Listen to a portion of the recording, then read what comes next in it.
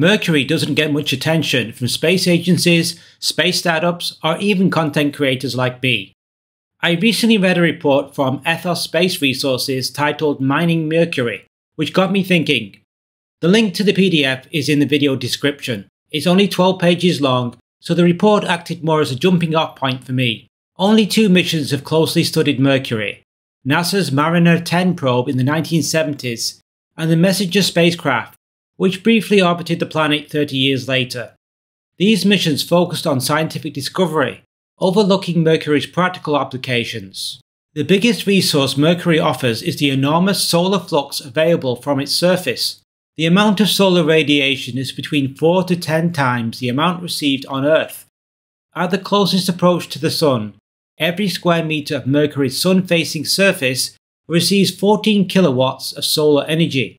Converting this energy into electricity could unlock a staggering power supply. We'll introduce the concept of operations for mining resources from Mercury. I'll use silicon as an example, but other useful materials are available for extraction. This operation requires advanced autonomous robots, power infrastructure and processing facilities. Details we'll explore later. Mercury, with its mineral rich surface, could be the go-to planet for a near-endless supply of raw materials for large-scale in-space construction, supporting projects in the Earth-Moon system and beyond. Silicon, in particular, stands out for its abundance and accessibility, making Mercury an ideal hub for refining silicon before transporting to assembly sites throughout the solar system. It's tempting to overlook Mercury. Reaching the planet is challenging.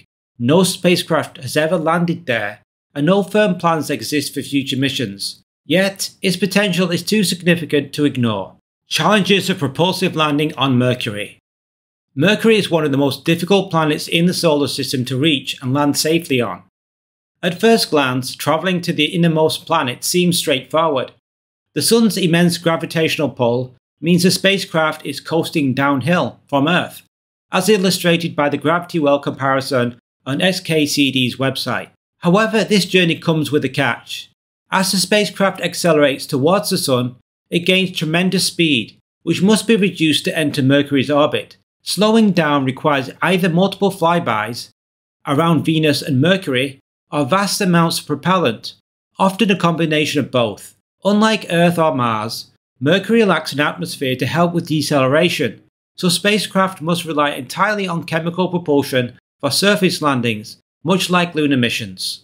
With super heavy lift vehicles like SpaceX's Starship, we could streamline this process, reducing the journey to Mercury to 2 to 3 years with fewer flybys.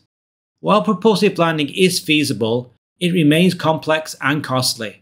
The lengthy travel times driven by multiple gravity assists from Venus make crewed missions impractical with current technology. Fortunately, commercial heavy lift vehicles open the door to sending rovers and equipment to Mercury's surface, enabling remote mining operations. The next challenge is transporting payloads from Mercury back to the Earth-Moon system affordably. In a previous video, I proposed a space elevator for Ceres in the asteroid belt. Let's explore how this concept could apply to Mercury. Why a space elevator on Mercury won't work. A space elevator involves anchoring a cable or tether from a planet's surface to an orbiting platform, with a counterweight providing tension. Lifter vehicles travel along the tether, enabling low energy payload transfers into space. While this concept works for some celestial bodies, it fails spectacularly on Mercury. Mercury's slow rotation, once every 58 days, creates a critical flaw.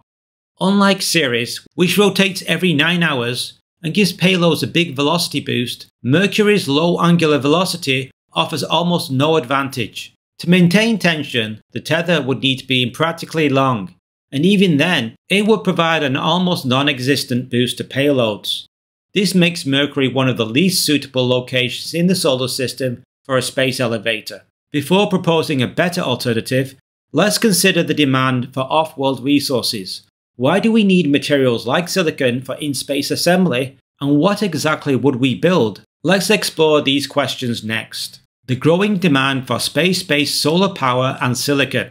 The global hunger for electricity is relentless, driven by tech companies racing to develop ever more powerful AI models. Training the next generation of AI could demand 5 to 6 gigawatts of power, more than most power stations can supply.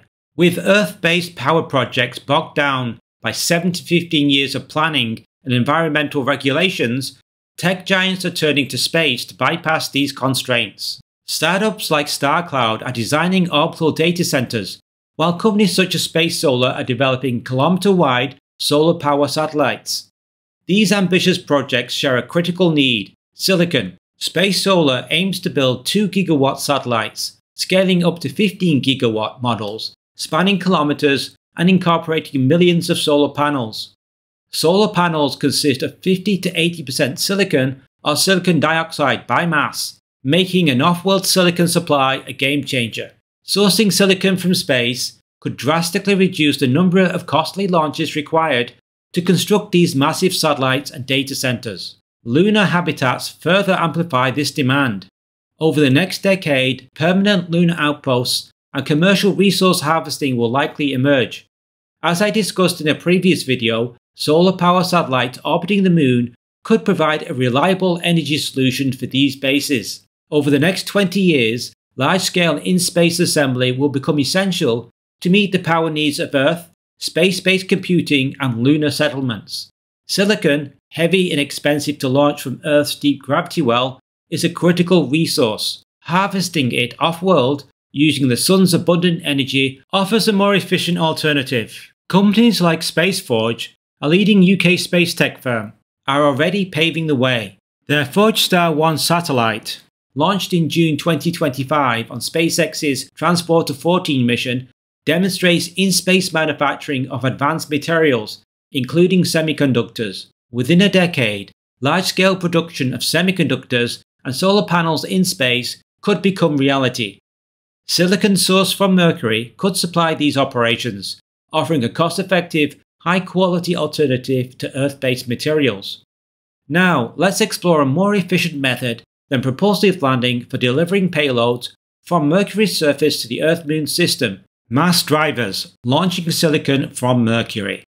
A mass driver, also known as a railgun or linear accelerator, uses electricity to propel payloads to high velocities. Imagine firing 5 metric tons of refined silicon directly towards the Earth Moon system, no spacecraft, no mid course corrections, just a ballistic payload.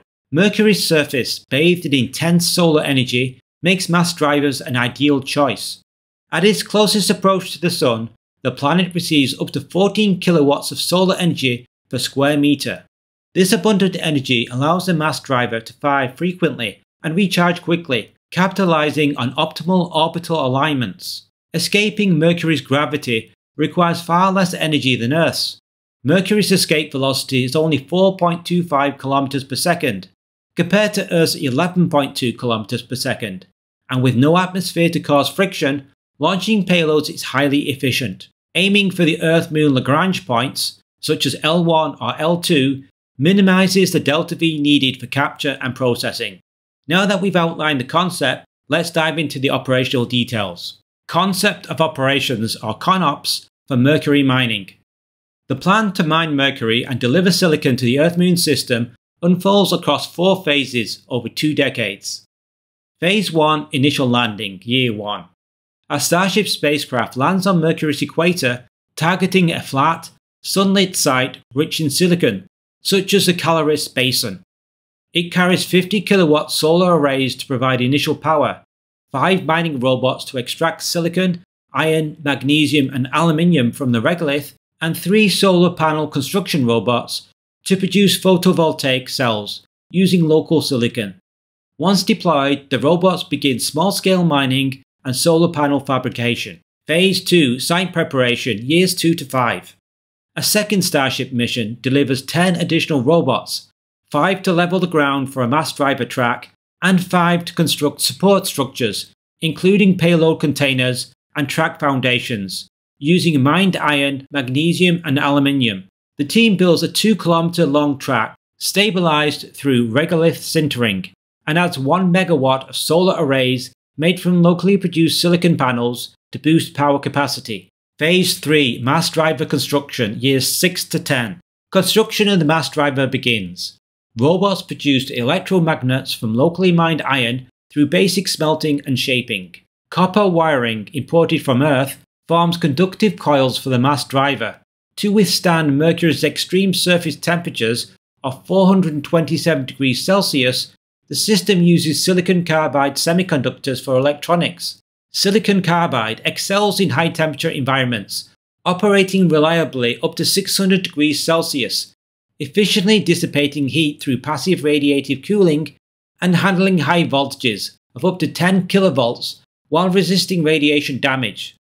Large aluminium radiator panels, fabricated on site, ensure electronics remain within operational temperatures. Solar arrays connect to capacitor banks to store energy for mass driver launches. The mass driver track includes expansion joints and strong foundations to withstand extreme temperature fluctuations and the occasional micrometeorite impact. Autonomous robots will inspect and repair radiators and tracks for micrometeorite damage or thermal fatigue. Laser alignment systems using silicon carbide electronics will ensure no misalignment of the track caused by thermal expansion. Critical components are shielded by regolith barriers. Robots, when not in use, are stored in shelters, providing protection from impacts, dirt, and debris. Phase 4 Operational Mass Driver, years 11 to 20. After a decade of preparation, the mass driver becomes operational. Mining robots produce 5 ton silicon ingots encased in iron aluminium containers for structural integrity during launch. Solar arrays charge capacitor banks over several hours, storing energy for each launch.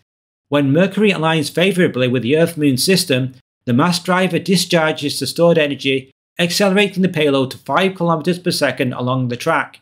The payload follows a ballistic trajectory to the Earth Moon L1 or L2 Lagrange point, where orbital tugs capture it for processing. To scale operations, additional solar panels and an extended track can support larger payloads. Improving launch window opportunities. To achieve the most energy efficient launches, Mercury and Earth must align at the correct phase angle, measured from the Sun, which occurs every 116 days. However, a fixed mass driver on Mercury's surface must align with the planet's direction of travel to ensure an optimal trajectory, adding a further constraint. To improve launch window opportunities, one solution is to construct multiple mass drivers with different orientations. This ensures that at least one driver aligns correctly with the desired trajectory during each orbital alignment. Alternatively, operators can fire the mass driver along a suboptimal trajectory. While this demands more energy, Mercury's abundant solar power makes this feasible. If the full payload cannot reach the required velocity, a smaller payload can be launched instead. Conclusion In 10 years, humanity will likely witness remarkable advancements in space infrastructure. Orbiting data centers and space based solar power stations will take shape through in space assembly. On the Moon, the United States and China will establish multiple bases, supported by autonomous robots constructing landing pads, roads, and other critical infrastructure. Lunar propellant production could scale to industrial levels, paving the way for deeper space exploration. As we tap into the Moon's resources, we must also look at other non terrestrial sources of valuable minerals. Mercury emerges as a prime candidate. With the right infrastructure, Mercury could supply abundant metals to fuel the construction of in space infrastructure across the Earth Moon system and beyond. Other solar system destinations can be targeted if sufficient power is constructed on Mercury. To become a multi planet species, humanity must harness the Sun's energy and the vast material scattered throughout the solar system. What are your thoughts on the feasibility of mass drivers on Mercury? Leave your ideas in the comments section below. Thanks for watching.